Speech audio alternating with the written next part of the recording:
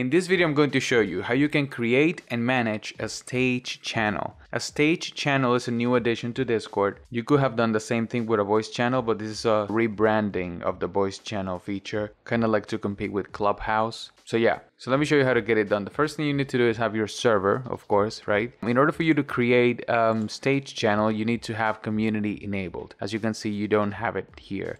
Um, with a normal server. So let's go ahead and enable community first. Let's go to server settings and then we're going to enable community get started. This is all blah, blah, blah.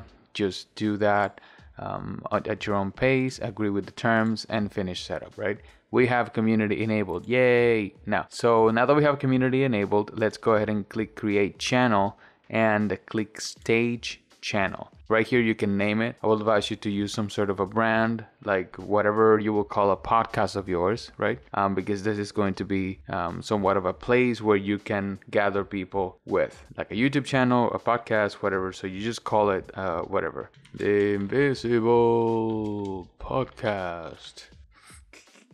yeah, so uh, here you can choose moderators. Moderators in a stage channel are not the same as moderators in a Discord server. A moderator in a stage channel will be able to move a user from the audience to invite them to speak or move them from speaking to back to the audience and, and stuff like that. Like from speaking to listening and from listening to whatever or kick them or whatever. But like they don't really have any other server special permissions like to kick someone out of the server and stuff like that. So you don't really need to set up special permissions on the person. You can literally just tag them. Um, for example, I can choose this other user of mine to be a moderator and this person will have permissions to move kick and all that so i'm not to add it I'm just to skip it because i want to be a normal audience member when i go in so i'm to click skip and now i'm going to join this stage channel and today's debate is going to be about why am I not subscribed?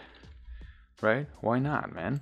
So I'll click open the stage and I will be the main speaker because I was the one who created the stage channel, right? So I'm right here. Hello, everybody. So if I'm speaking, you will have this little aura thing going on around your profile picture. And basically, these are the list of members, no listeners yet, as you can see here. So let me separate the screen in two. I'm going to move this to the left and then the other user to the right, okay? Okay, so here I have my other user on the right. Let me join this server. As you you can see here, when you have a stage channel um, active, it displays this little icon right here. So we click that server and then we're gonna have this little card right here. Live now, why am I not subscribed, right? I can listen in. I can directly join to the stage channel from the upper left corner. So I can just listen, click here or there, doesn't matter, right? So now so I'm listening.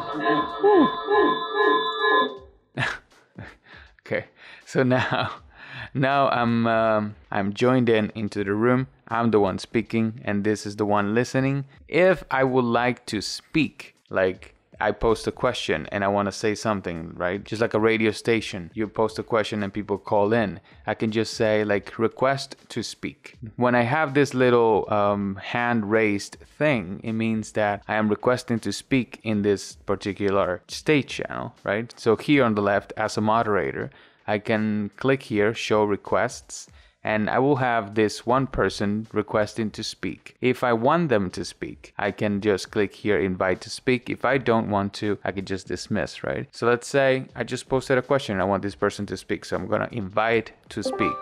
And now this person will be displayed this banner. You have been invited to speak. If I want to, if I'm ready, I can click accept and now this person will be speaking with me in the room. As you can see, impossible, whatever, they will have, um, it will display the two people that are speaking currently. And um, yeah, so basically, as a moderator, I will be able to remove this person from speaking. If that person is done or is just doing some blah blah blah, I can right click on him. I can disconnect from stage, which is kick him out of the channel, or I can just move it to the audience goodbye, sir. And now this person is back to only listening, right?